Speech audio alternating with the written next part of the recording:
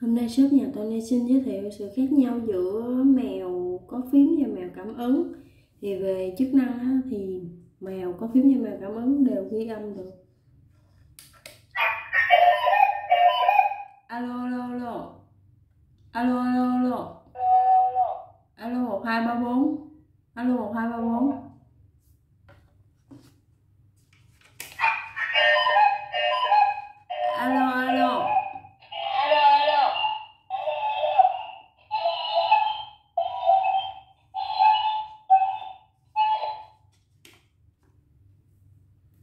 Về kể chuyện thì mèo cảm ứng chỉ cần vuốt nhẹ bên tai Các là sẽ làm câu chuyện. các con đã bao giờ được nghe chuyện về nàng công chúa Bạch Tuyết và câu chuyện tấm cám.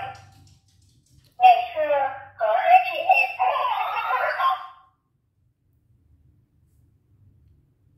Cái nút này phát ra tiếng kêu.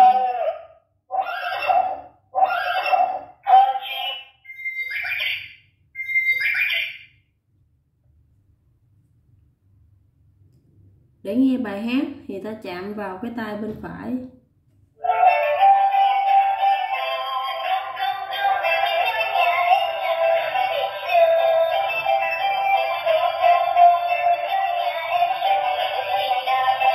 Thay đổi bài hát chạm.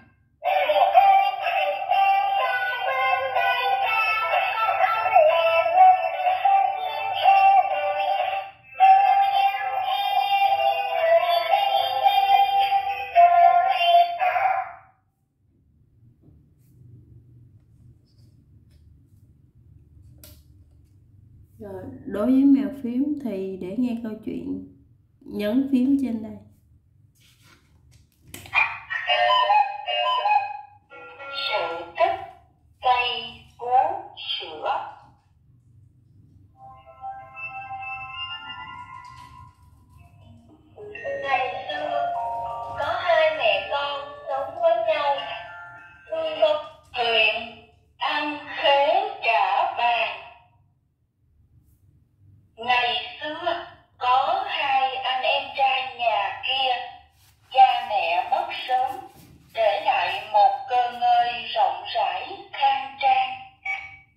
Để thay đổi bài hát nhấn nút này là chúng ta sẽ thay đổi từ câu chuyện kể sang bài hát. Cái đó thì nhấn các phím này để nghe các bài hát.